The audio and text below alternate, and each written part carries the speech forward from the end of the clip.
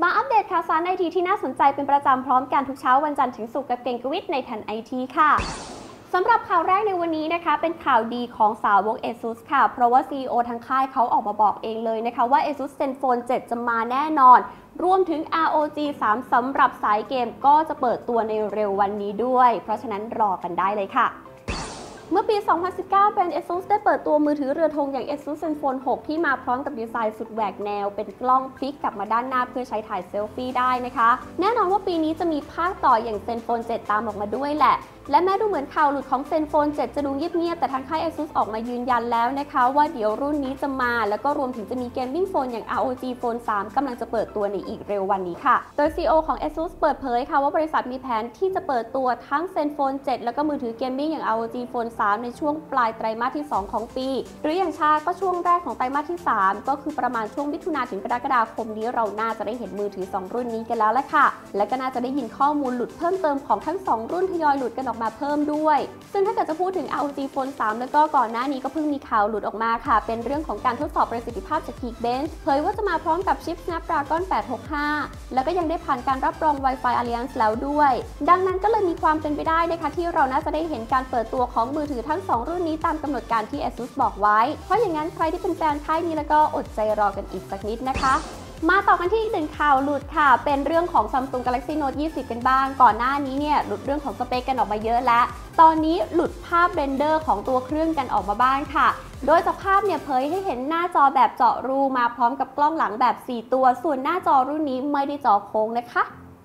ในที่สุดก็มาแล้วค่ะ ภาพ render ชุดแรกของมือถือเรือธงรุ่นปลายปีอย่าง Galaxy Note 20 หลังจากที่มีสเปคหลุดออกมาแทบจะหมดไส้หมดพุง วันนี้ได้คิวของดีไซน์ตัวเครื่องกันบ้างนะคะ หลักๆ เลยดีไซน์ของ Note 20 แทบจะไม่ต่างอะไรกับ S20 Ultra ค่ะ ยกเว้นที่รอบนี้เนี่ย Note 20 เลือกใช้ขอบหน้าจอแบบไม่โค้งแล้ว แถมยังมาพร้อมกับเลนส์ซูมแบบ periscope อีกด้วยค่ะ โดยที่หน้าจอเนี่ยยังคงใช้เป็นจอแบบ Infinity O Display เจาะรูเล็กๆ เอาไว้ตรงกลางเหมือนเดิม เอาไว้วางกล้องเซลฟี่ แต่ที่ต่างจากเดิมก็คือครั้งนี้ซัมซุงจะเลือกใช้หน้าจอแบบแบนราบ ซึ่งน่าจะถูกใจใครหลายๆคนแหละ เพราะว่าน่าจะมาช่วยในเรื่องของการจดโน้ตต่างๆ ให้ง่ายแล้วก็สะดวกสบายมากยิ่งขึ้น ส่วนที่ด้านหลังเห็นว่าจะมาพร้อมกับกล้องหลัง 4 ตัว แล้วก็เลือกใช้เลนส์ซูมแบบ periscope แม้ว่าข่าวลือล่าสุดจะรายงานว่ามือถือรุ่นนี้จะตัดฟีเจอร์ space zoom 100 เท่าออกไป แต่ก็เชื่อว่าการมาของเลนส์ periscope น่าจะทำให้เจ้า Galaxy Note 20 สามารถดันระยะซูมแบบ optical หรือ hybrid ได้มากกว่าเดิมค่ะ ส่วนตำแหน่งของปากกา S Pen เองรอบนี้ก็จะย้ายจากฝั่งขวามาอยู่ฝั่งซ้าย ขณะที่ปุ่มต่างๆ อย่างพวกปุ่ม power ปุ่มเพิ่มลดเสียงก็จะโยกไปอยู่ที่ฝั่งขวาทั้งหมด โดยถาดใส่ซิมรุ่นนี้จะอยู่ที่บริเวณด้านบนของตัวเครื่องอีกที เห็นรูปออกมาแบบนี้แล้วคิดยังไงคะ สวยหรือไม่ชอบหรือเปล่าบอกกันหน่อยสิคะ ก่อนหน้านี้เนี่ยแฟนของค่าย OnePlus อาจจะรอมือถือรุ่น Limited Edition ที่ไปทำร่วมพาร์ทเนอร์กับค่ายรถหรูอย่าง McLaren นะคะ แต่ปีนี้อาจจะต้องบอกว่าไม่ต้องรอจ้ะเพราะเขาหมดสัญญากันเรียบร้อย เมื่อหมดสัญญาแบบนี้ก็ไม่น่าจะมีรุ่นพิเศษออกมาให้ได้ใช้กันแล้วแหละ